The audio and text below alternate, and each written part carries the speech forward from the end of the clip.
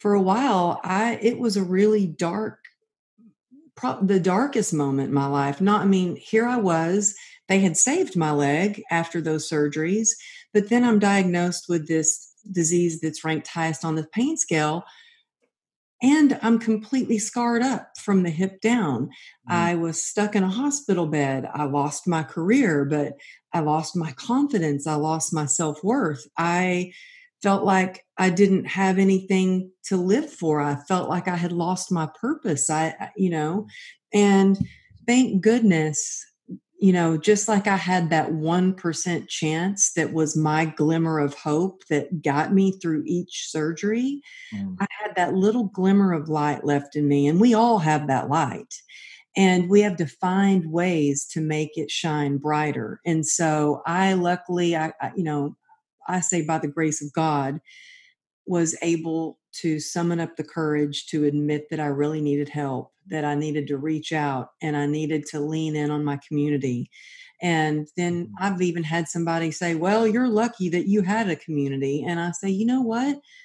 Your hard work puts you where your blessings can find you. And it's up to us to mm-hmm. build our community. It's not about just taking it's really about what can we do? How can we serve? How can we be there for each other?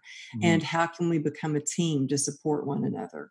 And so um, i think community is one of the most important one of the most important aspects of being resilient is just the community that you surround yourself with.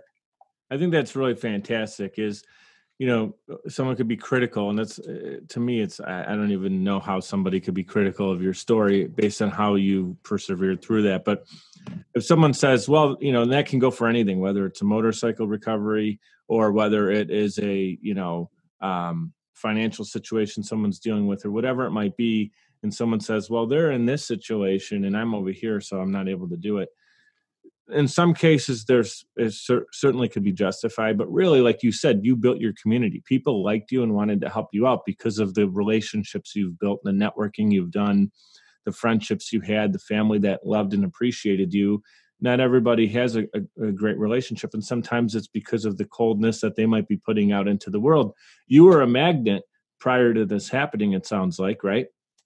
Uh, and, well you know i had a big life. I, I've my whole life I have been most passionate about mm. seeing other people thrive and grow and reach their dreams. I've always been a cheerleader. And so, whether that was through training my clients or my friendships that I had or my family, mm-hmm. I had, you know, my business was thriving. I had trainers that worked with me and I liked seeing them grow and their career paths get bigger. And so, I had this large network um, whether it was clients, other trainers. Um, and I'm grateful for that in the family, but it it is a process of putting in the work and not just, you know, it's kind of like when you get you've got people in your life that when your phone rings and you see your, their name pop up on your phone, it's a, oh gosh, what do they want? Or, yeah. oh, wow, it's so and so calling. You know, right. I want to be one of those people that when my phone my name mm. pops up yeah. on their phone they're like oh it's amberly what's going on? You know not oh god what does she want? You know what i mean? Like word is energy. It's the energy that someone is being brought or taken away from when that phone call is answered